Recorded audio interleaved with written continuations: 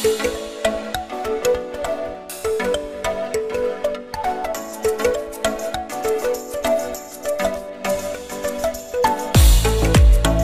friends welcome to Raasi studies இது உங்கள் சுகன்யா. இன்னைக்கு நம்ம பார்க்க போகிறது என்னன்னா சாஸ்ட்ரா டீம்ட் யூனிவர்சிட்டியில் ரெஜிஸ்ட்ரேஷன்ஸ் பண்ணி சாய்ஸ் ஃபில் பண்ணவங்களுக்கு ஃபர்ஸ்ட் ரவுண்ட்ஸ் அலாட்மெண்ட் வந்தாச்சு.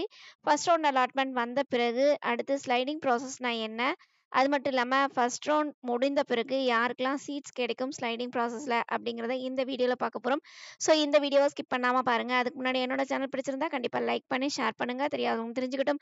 சப்ஸ்கிரைப் பண்ணுங்கள் பக்கத்தில் இருக்க பெல் ஐக்கான் பட்டனை கிளிக் பண்ணும்போது என்னோட நியூ நோட்டிஃபிகேஷன்ஸ் எல்லாமே உங்களோட மொபைலுக்கு ஈஸியாக வரும்.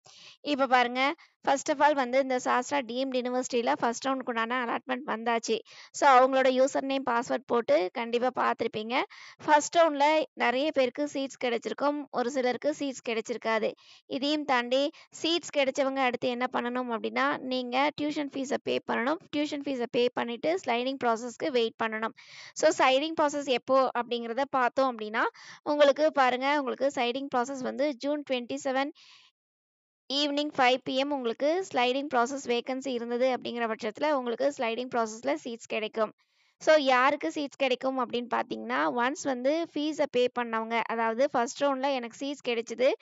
பட் நான் ஃபீஸை டியூஷன் ஃபீஸை பே பண்ணிட்டேன் அப்படிங்கிறவங்களுக்கு ஸ்லைடிங் ப்ராசஸில் உங்களுக்கு வேகன்சியை பொறுத்து உங்களுக்கு சீட்ஸ் கிடைக்கும் அப்படிங்கிறத சொல்லியிருக்காங்க.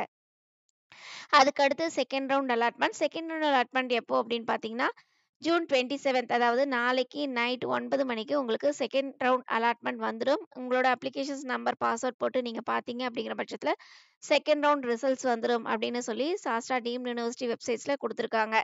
இதையும் தாண்டி இந்த ஸ்லைடிங் ப்ராசஸ்னால் என்ன அப்படிங்கிறத ஒரு டீப் எக்ஸாம்பிளோட நம்ம சொல்லலாம். ஸோ கொஞ்சம் பொறுமையாக ஸ்கிப் பண்ணாமல் பாருங்கள் அதையும் தாண்டி கீழே டிஸ்கிரிப்ஷன் பாக்ஸில் வாட்ஸ்அப் லிங்க் இருக்குது அந்த வாட்ஸ்அப் லிங்க்கில் நீங்கள் ஜாயின் பண்ணிட்டீங்க அப்படிங்கிற பட்சத்தில் த்ரோட் கவுன்சிலிங் வரைக்கும் நம்ம கூட இருந்து கைட் பண்ணுவோம். இதையும் தாண்டி சிசாப் கவுன்சிலிங் அதாவது ஜெய் மெயின் ஸ்கோர் கார்டு இருக்குது நல்ல ரேங்கிங் வச்சுருக்கேன். எனக்கு வந்து பர்டிகுலராக நைட்டிஸ் ட்ரிபிள் ஐடிஸ் ஜிஎஃப்டிஸில் நான் சீட்ஸ் வாங்கணும் அப்படின்னு நீங்கள் நினச்சிங்கன்னா நீங்கள் பர்டிகுலராக கீழே டிஸ்கிரிப்ஷன் பாக்ஸில் இண்டிவிஜுவல் வாட்ஸ்அப் நம்பர் இருக்குது உங்களோட ஜெய் மெயின் ஸ்கோர் கார்டு அனுப்புங்க. கண்டிப்பாக அதுக்குண்டான பாசிபிலிட்டிஸ் என்ன இருக்குது அப்படிங்கிறத பார்த்துட்டு நம்ம சொல்லலாம். இப்போ ஸ்லைடிங் ப்ராசஸ்னால் என்ன அப்படிங்கிறத நம்ம பார்ப்போம். For example A candidate B candidate C candidate D candidates அப்படின்னு நாலு கேண்டிடேட்ஸ் இருக்காங்க அப்படிங்கிறது வச்சுப்போம். இதில் அவங்கவுங்களோட ரேங்கிங் என்ன அப்படிங்கிறத வச்சுப்போம். சரிங்களா?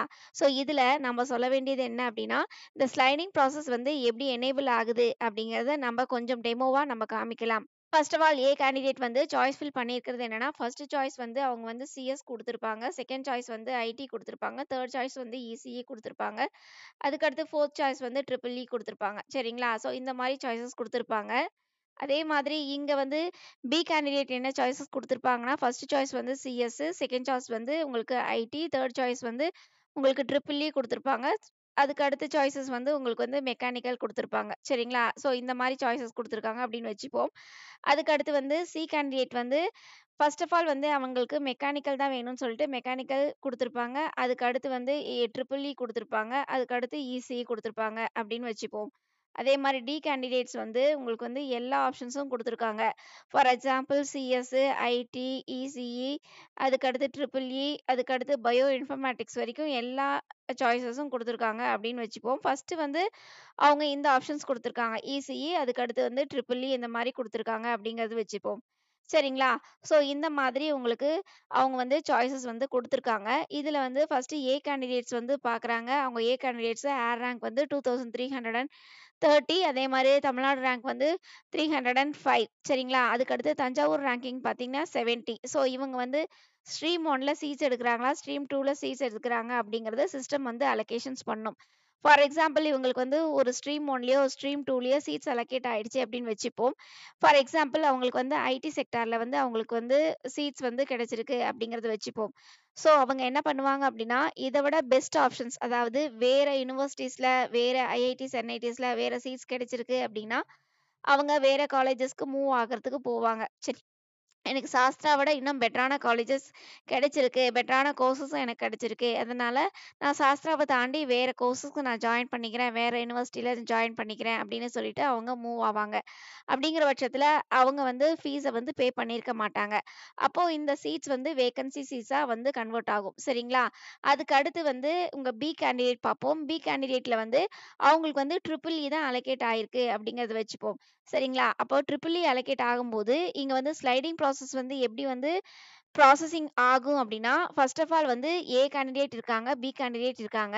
ஸோ இவங்க வந்து அடுத்தடுத்த ரேங்கிங்கில் இருக்காங்க. அப்படிங்கிற பட்சத்தில் அப்போ வந்து இங்கே வந்து ஒரு வேக்கன்சி சீட்ஸ் வந்து எனேபிள் ஆயிடுச்சு. சரிங்களா? அவங்க ஃபீஸை பே பண்ணாதனால ஏ கேண்டிடேட்க்கு ஒரு வேக்கன்சி சீட்ஸ் எனேபிள் ஆகுறதுனால, அவங்க வந்து இப்போ ட்ரிபிள் இல e இருந்து மூவ் ஆகாங்க. என்னன்னா ஐடி தான் அவங்க கொடுத்துருக்காங்க அப்போ ட்ரிபிள் e இருந்து மூவ் ஆவாங்க.